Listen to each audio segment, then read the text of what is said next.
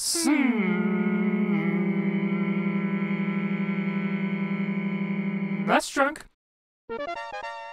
Just when you think you've seen and heard of every mascot platformer of the 16 bit era, here is Zool, Ninja of the Nth Dimension, made by British developer Gremlin Games. And yep, this game looked Western enough for you. As you might expect, it was originally made for Amiga in 1992 before getting ported to all sorts of other computer systems, as well as Genesis, Game Gear, Master System, Game Boy, and Super Nintendo. You play as Zool, no, not that Zool, unfortunately, and he looks like a cross between Bomberman and that weird alien creature that visits Garfield in that one episode of Garfield and Friends. Anyone? No? Alright. You get 8 lives, each with a health meter, and 3 continues to get through 7 worlds divided up into 4 levels each, with the 4th level culminating in a boss fight, and there's no saves or passwords here. What's weird is that this game's default settings are backwards. It's B to shoot and Y to jump, which is just awful. But thankfully you can switch it to how it's supposed to be in the options. There's also the R button to do a flip and L to spin, and that's it. That's all you get. The controls are really loose. It's kind of jarring. In fact, that's the game's biggest flaw, really. It's like it can't decide if it wants to be a regular old hop and bop platformer or a Sonic style Twitch control kind of a thing. I will say, once you get to know some of the level layouts, it can be kind of fun to just zip around and wall jump and flip off of stuff and bounce around and all that. It's just that the levels are designed to only have a couple sections here and there where you're allowed to do that. Then it's back to the drudgery of dealing with these utterly generic enemies, where they just kind of sit there and get in your way and not really do anything. In fact, you'll probably find yourself flailing out of control more often than not before you have to deal with them.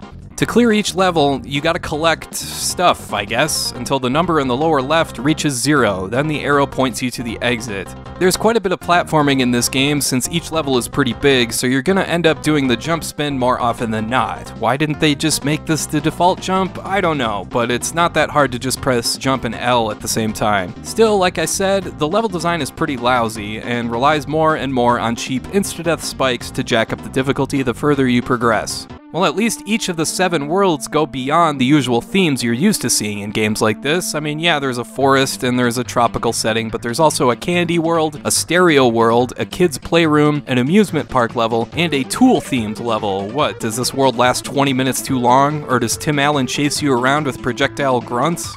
I will say some of these worlds do have some highlights if you're willing to seek them out, and if you're willing to get past how completely and fully Amiga-ish it looks. I mean, geez Louise, this is the first level of the game, and it's just so friggin' garish and ugly. The Zool sprite itself actually looks cool, but the settings, ugh, it's like I'm looking at a Trapper Keeper through a kaleidoscope. It's just a mess. But hey, there are hints here and there that prove that the people that put this game together really gave a crap. One telling sign is the manual, which actually has a comic. Yeah, I love stuff like this. In a perfect world, every video game should come with a comic explaining its lore and backstory, even stuff like Ken Griffey Jr. presents Major League Baseball. So Zool, and did I mention he's a ninja gremlin? And he's flying a spaceship on a recon mission through the nth dimension and gets sucked into a powerful vortex that makes his ship crash land into a pile of custard. No, really, that's why the game starts out in Candy World. Too bad for Zool he didn't crash into $240 worth of pudding. Oh yeah.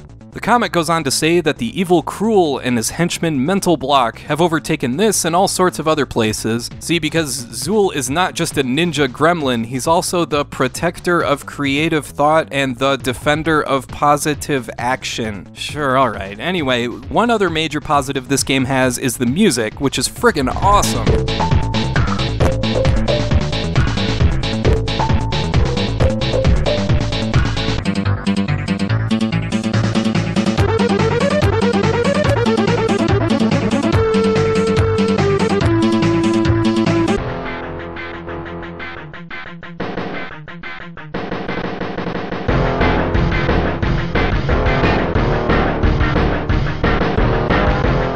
Whoa, where the heck did that come from? That sounds like something out of Super Off-Road. Anyway, yeah, Zool is another one of those games you'd normally roll your eyes at right when you'd see it, but it's really not that bad. I mean, the only time I really had to roll my eyes was at some of the visuals, and that was just in order to protect my retinas from searing off from all the ridiculous colors. The thing is, though, sometimes these generic mascot platformers, yeah, they aren't all that good, but they also aren't all that bad. No, they're not worth going out of your way to play or anything, but they're just barely decent enough that they're worth a shot to see if it's worth your curiosity. Same thing with stuff like Rocky Rocky Rodent or Dino City or Mr. Nutz. That stuff is all in the same category as something like Zool for Super Nintendo. Alright, I want to thank you for watching, and I hope you have a great rest of your day.